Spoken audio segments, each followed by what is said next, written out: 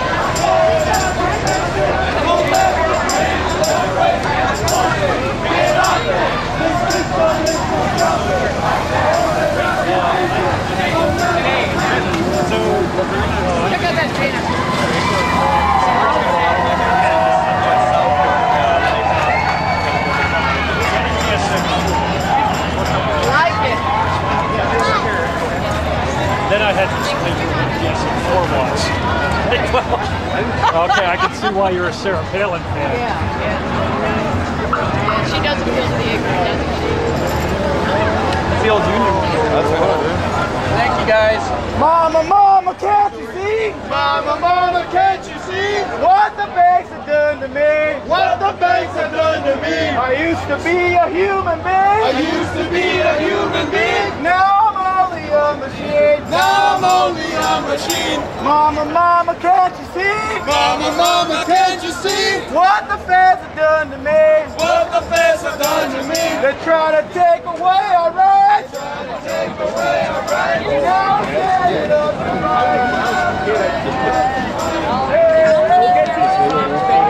They're itching, dude.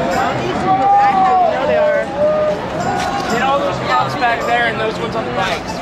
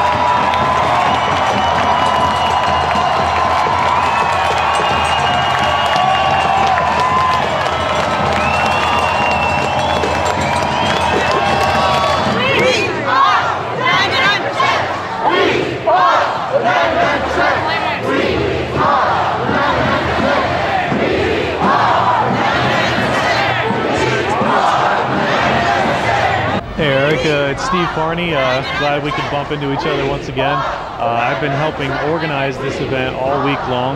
Um, we've had General Assembly meetings starting at 6 p.m.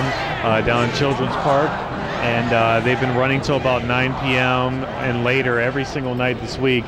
And I, I got to tell you, it really feels great to see the fruition of, of this movement coming out here in San Diego.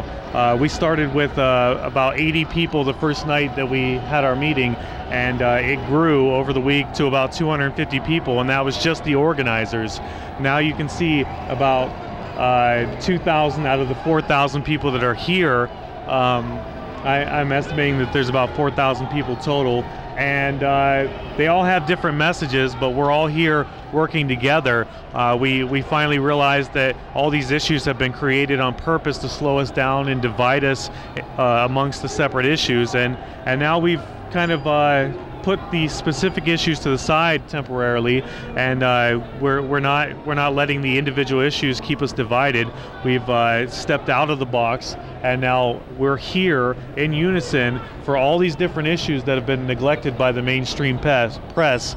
They've been neglected by the politicians who pretend to speak for us. They've been neglected by the government at large. They've been neglected by the corporations. So we're here to set things straight, and uh, our mission statement as it stands right now is to achieve social and economic justice. And uh, we're going to continue to occupy until that happens.